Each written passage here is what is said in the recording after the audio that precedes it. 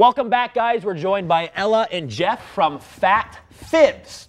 And today we'll be talking about amphibians and reptiles. I thought we were talking about lies, like fibs. No, but fib stands for amphibians. too. okay. Jeff, Ella, thanks for coming in. So, what have for you uh, what have you brought with you? Uh, this guy right here is a bearded dragon. Okay. Uh, they're native to Australia. Um, and, you know, as far as we're concerned, this is what we uh, specialize in uh, and what we'll tell uh, all of our customers. These are the puppy dog of the reptile world. And, and then that is a reptile. This is a reptile, uh, and this guy, he's about a year and five months old. Uh-huh. Um, he'll get a little bit bigger, uh, but um, you know they don't get too big, Yeah. or, or too unmanageable. Um, and this is the demeanor of them. Uh, you know, you can. Uh, So nice.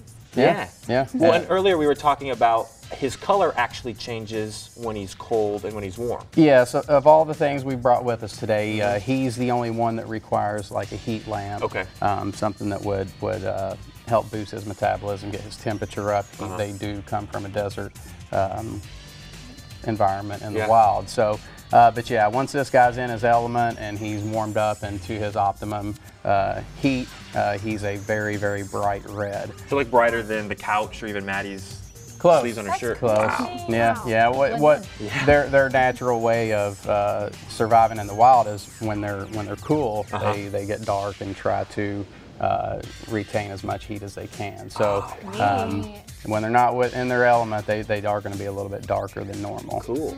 And Ella, what do you have over This is Malawi. She Uh-huh. is a giant gecko. Uh, they are the largest gecko in the world. They Uh-huh. are also the most vocal lizard of any of the species. So they make noise. Yes, they do. What kind of noise? Like, what does it sound Well, like? there's a couple different noises. There's a whistle. Um, Uh-huh. There's one of them that kind of sounds like a scream and a growl. It's quite when they're frightened. They'll Okay.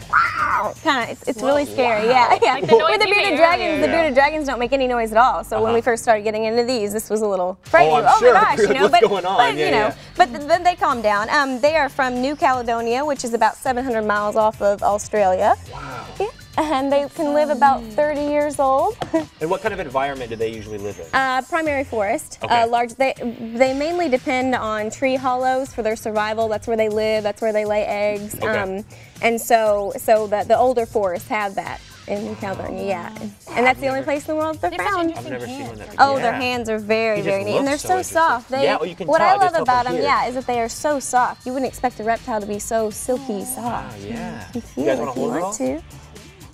And It's then actually Jeff. almost like a velvet. Yeah, Jeff. What are these guys? Uh, these are along the same families Okay. as, as the giant geckos that Ella has there. Uh, these guys are crested geckos, and Okay. uh, these are uh, very popular in the pet trade. uh Uh-huh. they're going to have the same velvety type skin as, as Uh-huh. what the giant geckos have there, but uh, they aren't going to attain the same size. And I also, um, some of the giant geckos as they get older can have a little more of an aggressive demeanor.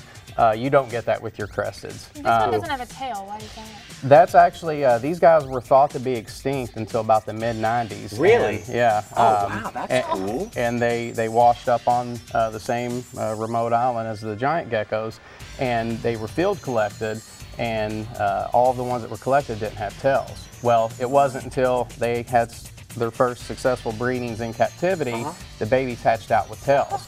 And what happens is through the mating process and, and just the, the rugged outdoor life, Uh-huh. they will drop their tails as a defense mechanism. Oh, Um, so majority of your crested geckos at some point will end up uh, dropping their tail for one reason or another, um, and, and that's uh, And do quite they grow back or no? They don't grow back. Okay. Uh, you'll just re- regenerate a little bit of a stump and what do there. these guys eat?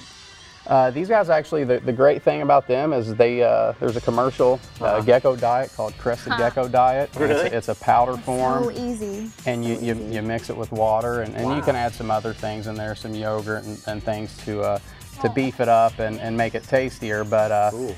yeah these guys can be a totally insect free diet And you guys have one more, and this is an amphibian that you guys brought. yeah this is an amphibian And I hear and this one's kind of a big deal.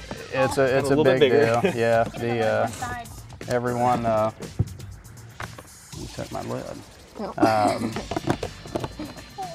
you want to take that You guys ready? Here we go. Okay, there's the bearded dragon. All right. all right this is Look at that. Paisley the pixie. Oh my gosh. What kind of frog is this? Uh, he's a giant African bullfrog. This is the second largest frog species in the world. Oh my god. Have you guys ever seen a frog this big before? Neither have I. Oh my god. And, and really, pound for pound, or you know, size-wise, Yeah. this is your largest frog in the world. The- It's only surpassed by the Goliath frog, uh, but that you- that frog is very slender and really Okay. has long legs. But for actual body mass and structure, Wow. uh, this is the the daddy-o of them all. Oh my gosh. And what do these guys eat?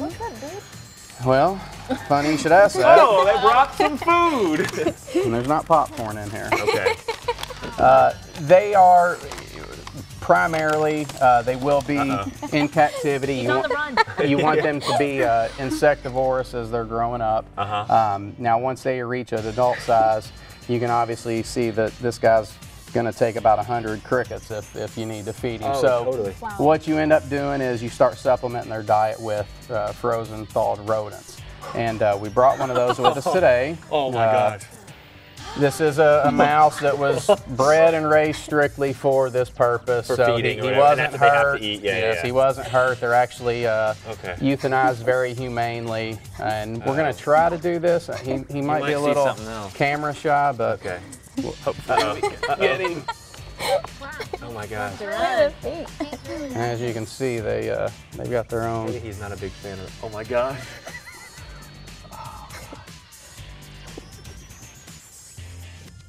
So does he smell it, or does he see it, or how does he? He know? don't smell it. He sees it, but this uh, His He's a little, stunning. little ornery today. Yeah. yes, he's uh, I don't think he's liking the He'll lights, jump on but you, I know he's looking right at me.